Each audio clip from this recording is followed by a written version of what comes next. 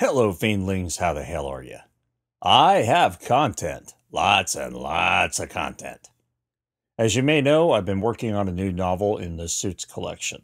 It's different from Station 3 in the sense that it's more open world, involves some space antics, and a confusing mystery. The suits aren't nearly as powerful as those in Station 3, and our bandit characters have absolutely no combat experience. In short, it's a totally different ballgame. The book, working title of An Ancient Trap, is already past 60,000 words, and I figure I'll have the rough draft probably done by the end of the month or early December.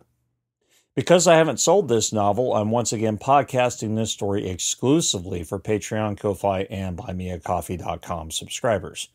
For $2 a month, you get weekly chapters of the new tale, access to the Black Oceania member exclusive podcast presentation, and other previously podcasted novels.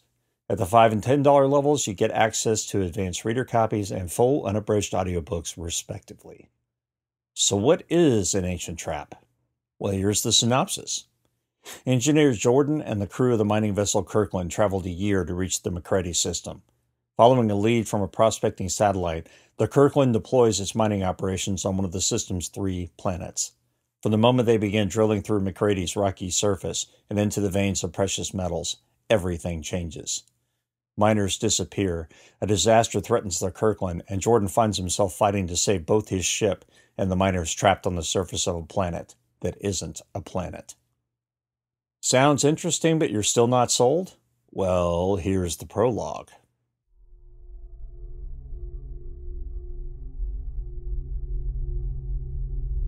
Prospector 9C512 entered the system weeks ago.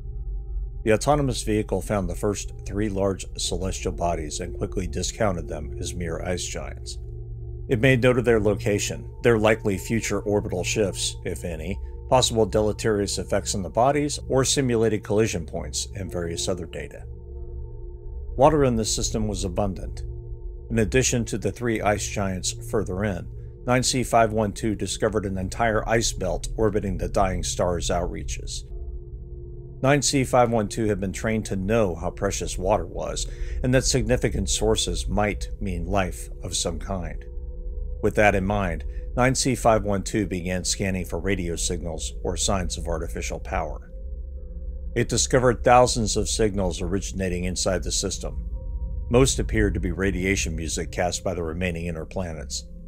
In the final stages of its life before it flickered out of existence, the star cast a wan glow over its system. After passing through another 20 million kilometers of space, 9C512 discovered a trio of objects trapped in the gravity of an unremarkable gas giant. Massive debris fields filled the space between the large planetoids or satellites metal, rock, minerals. 9C512 decided this system, the third it had visited in its 45 year service, was worth exploring specifically the trio orbiting the gas giant. The triplets might once have been identical, but no more. For instance, one of them had obviously taken a hit from an asteroid or some other body, causing it to spin at a dizzying speed. 9C512 determined the target to be impossible to explore. The second of the triplets was incredibly radioactive, so much so that 9C512 didn't dare get any closer than necessary to travel to the third object. The third, the prize, held a stable orbit, was spherical in nature, and had one third Earth's gravity. Perfect for exploration, especially after 9C512 spent weeks aligning itself to orbit the satellite and discovered seven different sites of interest. 9C512 went into prospecting mode. First order of business? A designation for the object. 9C512 had already computed the hash based on the object's location in the system and the system's relative position to that of Proxima, but it loaded its list of approved names and chose one at random McCready. 9C512 fired four of its remaining 20 pods at the target satellite, each pod destined for a site of interest. Pods 1, 2, and 4 all headed for craters. Pod 3, on the other hand, headed for the bottom of a rocky peak. Pod 3, a spider looking thing, bounced gently on its ten spindly legs before lowering itself to the moon's surface. A slot retracted in the pod, and a robot crawled out from the pod's belly. 9C512 monitored the dog sized robot as it trundled over the rocky surface into the cliff wall that rose 20 meters to a sheer cliff before becoming a more gentle incline as the peak continued rising to a maximum height of 200 meters. The robot extended a sensor array, placed it against the stone, and activated the tool. The array sent out a powerful burst of energy against the rock, waited for echoes to return, and transmitted the results to 9C512 using its pod's comms.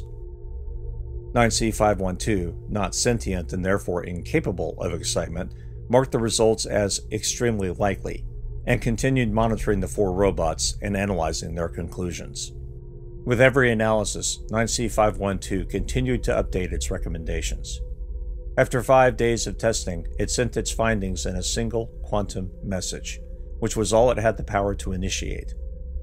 In order to fit the message into the minuscule bandwidth, it reduced the fidelity of the reports to their most basic assumptions and evidence, leaving out extraneous information and speculations. The report said nothing of the other objects that shared McCready's orbit. The report said nothing about the debris field or the ice giants. The report contained no warnings. Because of the loss of fidelity, the report didn't even contain Robot 3's record of a microradiation burst from inside the peak. If you want more information and to take a look at my wares, visit shadowpublications.com or follow the link in the show notes. With that, I am out of here. Be safe, have a great week, and we'll talk again real soon. Cheers.